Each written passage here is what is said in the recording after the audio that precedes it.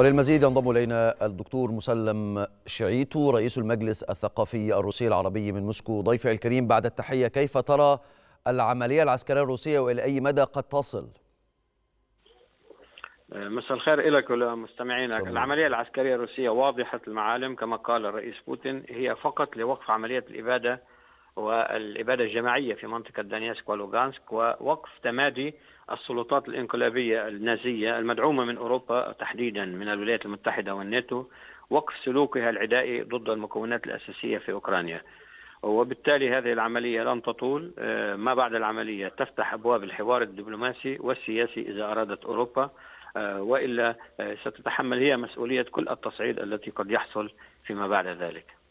إذا روسيا أمام إما محادثات دبلوماسية أو تصعيد تقصد ضيفي الكريم.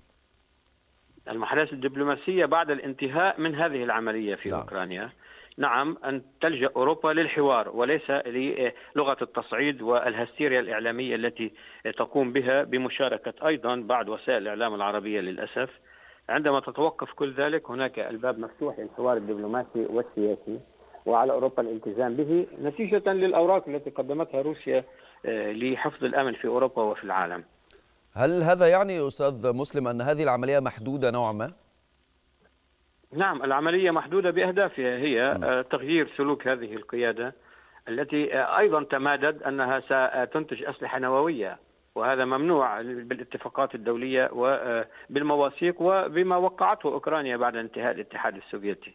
على خلفيتها روسيا قدمت الكثير من المساعدات لأوكرانيا ما يقارب 150 مليار دولار حتى سنة 2014 عكس الدول الأوروبية التي تقدم أسلحة وتعتبرها مساعدات إنسانية لأوكرانيا. نعم. في سياق ما ذكرت من الموقف الدبلوماسي المرتقب. يعني هناك جلسة لمجلس الأمن اليوم. توقعاتك لما ستدور حوله هذه الجلسة وما ستخرج عنه من قرارات؟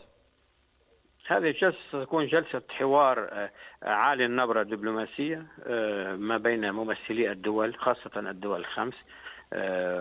هناك موقف واضح لروسيا أنها تقوم بعملية عسكرية أمنية مرغمة عليها نتيجة لتمادي هذه السلطة بعملية الإبادة الجماعية ضد المواطنين الروس هناك. والولايات المتحدة ستستعمل حكما كعادتها كل الأكاذيب والأقاويل وتحريف الحقائق من أجل اتهام روسيا كما فعلت كما فعلت في العراق. وفي سوريا وفي ليبيا وفي يوغوسلافيا وأيضا ستكرر هذه الادعاءات مرة أخرى. في الاتصال الهاتفي الذي جرى ما بين ترامب والرئيس عفوا بايدن والرئيس الأوكراني زيلينسكي حول قرار لإدانة موسكو الليلة في مجلس الأمن. لن يحدث إدانة لموسكو الليلة لأن موسكو تستطيع أيضا أن تتخذ وتستعمل الفيتو. وأيضا الصين أيضا هناك لا ننسى أنها هي تقف مع روسيا في هذه الأزمة. وما الاتصال مع الرئيس الأوكراني إلا لدفع أوكرانيا لتصعيد أكثر لتوتير الأوضاع في منطقة محاذية لروسيا. وهذا هدف أمريكي نجحت به وأعتقد أنها ستستمر بذلك. إذا كيف ترى ردود الفعل الدولية ضيفي الكريم أستاذ مسلم؟ إزاء العمل العسكري الروسي ما بين الشرق والغرب ما بين الصين مثلا والدول الأوروبية.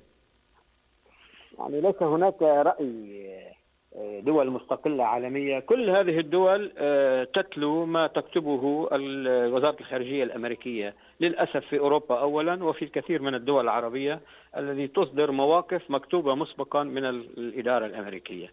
فاذا ليس هناك ديمقراطية في العلاقات الدولية، هناك إملاءات، هناك انتقاص للسيادة تمارسه الولايات المتحدة وتفرض على كل هذه الدول أن تمارس كما هي تطلب.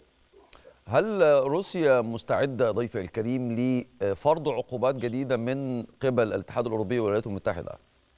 نعم نعم ورئيس الوزراء الروسي ماسوشين أعلن أننا مستعدون منذ فترة لرد هذه العقوبات أو التصدي لها ومواجهتها ونحن نعرف تماما هذه العقوبات ليست معنية بها روسيا اولا إنما أيضا معنية بها أوروبا يعني مثل أعطيك أسعار الغاز التي تعرضها روسيا على ألمانيا 200 يورو للألف متر المكعب.